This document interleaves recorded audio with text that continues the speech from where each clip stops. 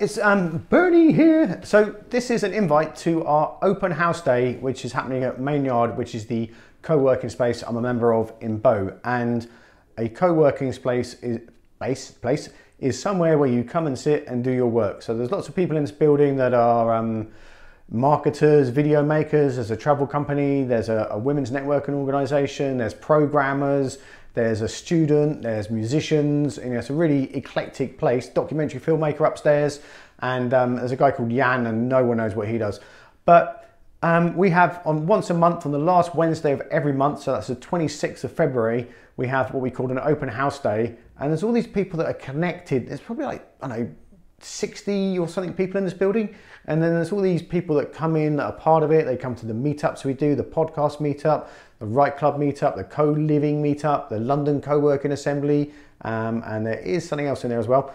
And you know, it's just good to get together and, and it's you know when people say catch up for a coffee, it's like what are we going to do? But if you say let's get together and work for the day, people sit around a table and they get their work done. So you know you're going to come here and get something done, but also you know you're going to be able able to have a chance to chat with people and connect. And a lot of, you know, a lot, there's a statistic from the uh, Freelancers Union uh, with research that they did like eight, uh, five years ago, and 81% of people who work in a co-working space said that the business they got came from the people near them in that co-working space. And that is really true. A lot of um, projects I've picked up over the years have been with people I work with in a co-working environment. So, you know, that, that's like the commercial reason, but also, just getting everyone together is always really good, and that's a theme. You know, people that have known me for ages know that I just uh, have some kind of addiction to getting people together.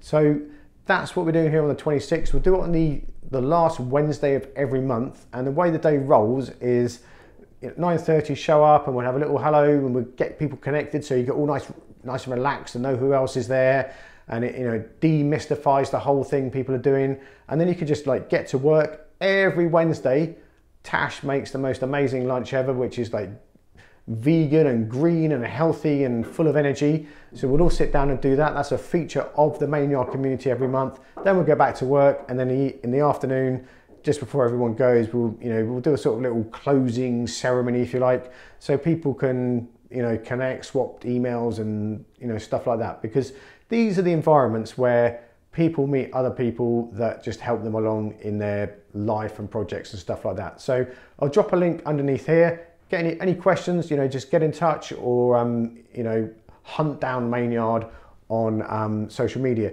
And just to be really clear, it's Mainyard. There's like 27 Mainyards nowadays. So there's it's Mainyard, which is between Bow Road and Mile End Station. That's Mile End, which is like six minutes tube journey from Liverpool Street. So if you're hanging around Liverpool Street in one of those nasty WeWork places, come down here and see how it's really done.